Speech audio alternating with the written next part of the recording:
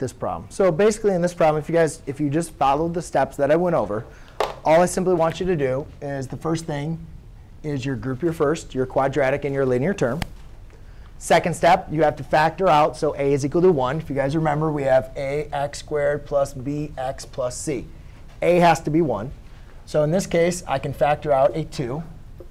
When factoring out a 2, I have x squared plus 3x plus 7. This is usually where students get confused. They want to give up once they know there's a fraction, and they want to go ahead and use decimals. Please avoid using decimals, especially in this case where you'd have um, 3 halves. Actually, that, that would still, um, yeah, 3 halves, 1.5. Um, anyways, just keep it as fractions. So anyways, to be able to find the value that completes the square, you're just going to take b divided by 2 and square it. Now, please make sure you use this b, not the b from the original equation. So in this case, I'm going to have 3 divided by 2 squared. Since 2 does not divide into 3 evenly, I'm going to leave it as is. So I'll leave that as 9 over 4.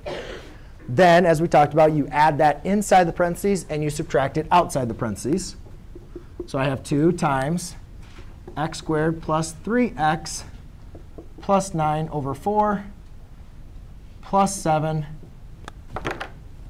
minus 9 over 4.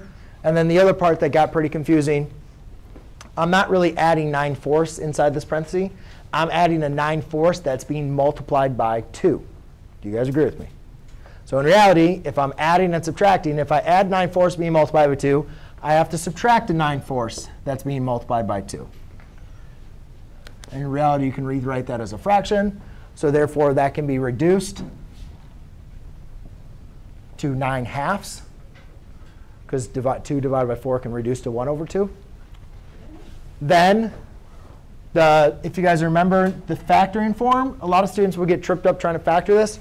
But all I told you guys to write in is just x plus or minus b divided by 2. That's it. So b divided by 2 is what? 3 halves. So I have 2 times x plus 3 over 2 squared. And then I got to add 7 minus 9 halves. So to subtract 7 minus 9 halves, you convert to 7 to 1 over 1, or 7 over 1. Multiply to get common denominators. So you'd have 14 over 2 minus 9 over 2, which is equal to 5 over 2.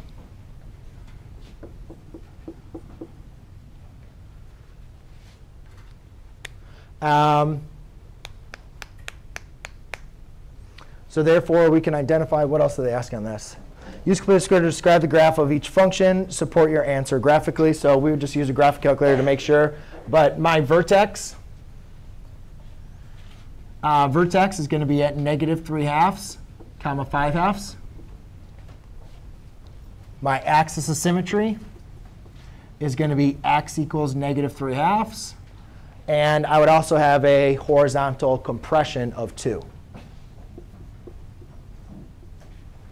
And that's basically what I do describe. Yes? Vertical stretch and horizontal compression are going to be the same thing. So either or would work. Anybody have any questions on this? No? Yes? Um, when you the that, um, you said that you use the right as x plus b um, over Yep. two squared, but what happens to the 3x? The 3x, the what? And uh, um, 9 and 4 inside of it. What I'm saying is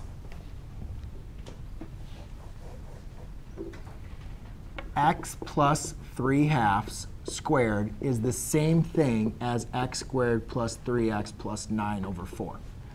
This is factored form. This is expanded form. Now, just real quick, let's, let's just go through it. So I want you to, so when you have it in expander form, you have to fact, you have to put it in factor form. Well, how do you always put it in factor form? Well, you can factor it, but when you have fractions, I'm not stupid. I know that's difficult to factor thinking of fractions.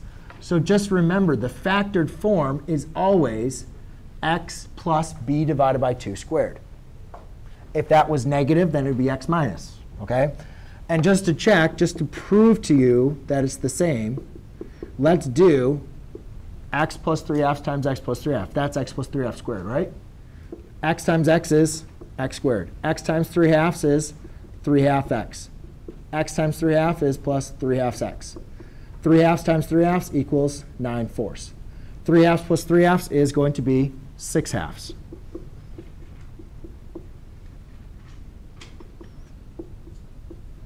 Six divided by two is, so do you see how I'm just using a different form? Does that make sense? But if you don't use the factored form, then there's no point in completing the square. That's the